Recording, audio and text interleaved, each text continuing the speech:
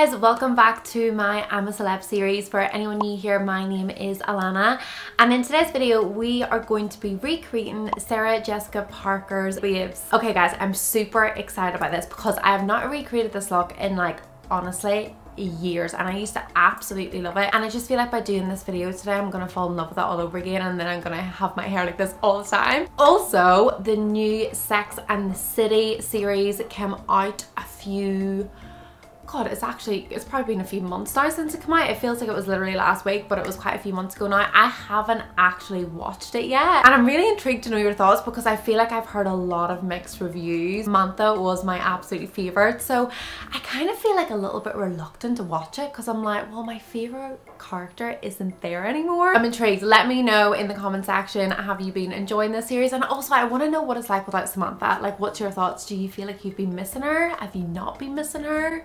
I just feel like I would miss her so much. Like she, she's probably the only one that makes me laugh out loud. I just, I love her. I'm all about her. If I was a Sex and the City character, I would probably definitely be Samantha. That's actually another good one. Who do you think you'd be? Comment below. Okay, Right, enough blabbering. So guys, I'm not actually going to be using the Dyson Airwrap to recreate this look today. I am actually going to be using my Dyson Corrale. I have been getting more and more requests from you guys to show you some looks using other hair appliances. And I don't really want this channel to turn into the Dyson Airwrap channel. And I feel like that's kind of what's starting to happen. Don't panic, I will be releasing lots more tutorials on how to use the Dyson Airwrap and specifically for this I'm Celeb series. But I will also be using other hair appliances. Now, you do not need the Dyson Corrale to recreate this look today. You can literally use any hair straightener. I used to, to recreate this look all the time using my GHDs and my Cloud9s. So it doesn't matter what hair straightener you have, you will be able to recreate this look. I decided I'd do something a little bit different in today's episodes and hopefully this is something I will implement going forward because I absolutely love fashion. I'm trying to think of ways that I can kind of incorporate it a little bit into my videos. So what I'm going to do is I'm going to show you how to create this look with your hair and then at the end of the video I'm going to show you how I style the hairstyle. I'm going to put a little outfit together and hopefully that'll give you some inspiration on how you can style your hairstyle because I don't know about you guys but like I always do my hair and makeup first and then decide what outfit I'm wearing. Like depending on how my hair and makeup looks will totally determine what I'm wearing. Sometimes I'll be setting an outfit then I'll do my hair a certain way and I realize you know what like that outfit does not work with this hairstyle depending whether you have it up, down, straight, curly. Like it's just, it's so weird but it's so true. So that's why I'm just gonna wear a basic top and I'm gonna show you what I would wear with this hairstyle and like I said, hopefully it can give you some inspiration on how you can dress this look. I feel like these fairy lights behind me keep going off because the battery is like dying so they'll probably be off in a few minutes. Anyway, I have just washed my hair a few hours ago and I smoothed it out a little bit actually using the smoothing brushes in the Dyson Airwrap because my hair is naturally quite wavy and curly so I did smooth out a little bit using the smoothing brushes. I didn't pay too much attention to detail. I just done it super super quick. The aim was to just get it drying to get rid of some of the frizz but if you don't have the Dyson Airwrap and you're watching this whilst you're blow drying your hair just use a hairbrush to smooth it out or else just quickly run over it with the hair straighteners. Okay, so guys, you are going to obviously start by sectioning your hair. I've actually already weaved the bottom section of my hair. I'm going to show you from this section because I just feel like it's a lot easier for you guys to be able to see what I'm doing from up here rather than like down here. Obviously you're going to section your hair and work through the different layers and obviously you will start by weaving the bottom section first so what I'm going to do is I'm going to do a few waves to show you how I do it. Then I am going to speed it up and then I'm going to show you how I style this look with an outfit. So obviously you're going to start by spraying some heat defense because you want to look after that precious hair. You're going to give your hair a brush. Always brush your hair whenever you're using any hair appliance. It's just going to help it glide through it so much easier. If you've got knots in your hair, it's the straightener is going to get stuck and it's just not going to create a very good wave. Okay, so. So guys, you're going to start by clamping the hair and twisting it away from your face. You're then going to twist a few more times as you pull the straightener down your hair.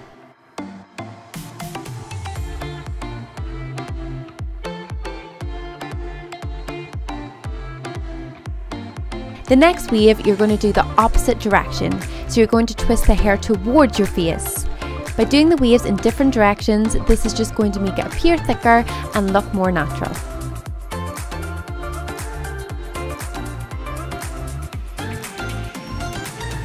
The more times you twist the hair, the more defined the wave will be. The key to creating a wave instead of a curl is ensuring the straightener is pointing down towards the floor as you pull it and twist it down your hair. If you turn the straightener on its side, it will create more of a curl rather than a wave. You're going to repeat the same method on the rest of your hair, ensuring you do each section in an opposite direction.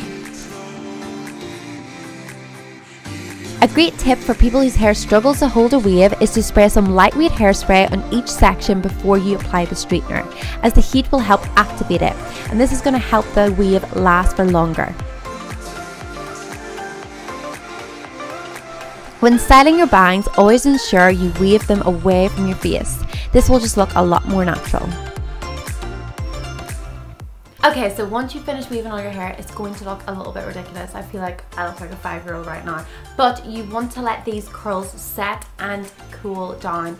So leave your hair for about 10 minutes and then we're gonna come back and we're gonna make it look amazing. So you can either do one or two things at this point. You can either brush through your curls to make them look all smooth and make them look all thick However, I personally love making them look all tousled and that kind of fits a little bit more into the look that we're recreating today. So you're going to get some hair oil. At the minute I'm using this Gisou hair oil and it's absolutely amazing. You literally need like one, two little drops, rub it into your fingertips and it just really nourishes your hair. Two little drops. You can use whatever hair oil you have and you're gonna rub it into your fingertips we're gonna start by scrunching. That's because I've got a lot of oil on my fingertips right now and I don't wanna grease it out. And then we are going to start running our hands through the waves.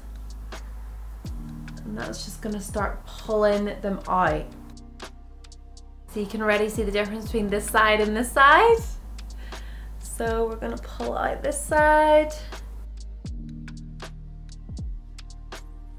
And I always like to tip my hair upside down. Give it a big shake. You can obviously part your hair whatever way you want. You can part it over to the side in this look. Sarah, feels really weird just calling her Sarah, doesn't it? It's like, it feels like I know her. Has it parted in the middle. So guys, that is the finished look. I am now going to show you how I style it with a super cute little outfit.